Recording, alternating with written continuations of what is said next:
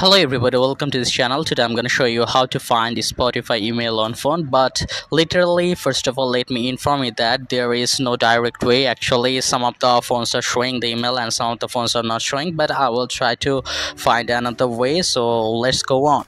First of all, go to your Spotify account, click the settings button from the top right corner. Then click your account or you can just click view profile then click edit and you can see there is no way you can just find your email just go back then. Then you have to just scroll down to the bottom and you can see a button which is support click on the support.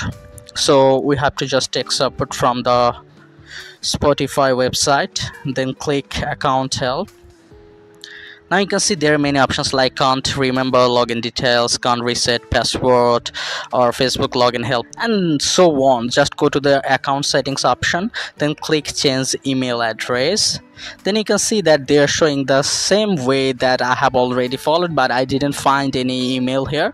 So you have to just click on log into your account page click on it and this will lead you to your all the gmail list as i have already logged in so the gmail list is not showing here okay?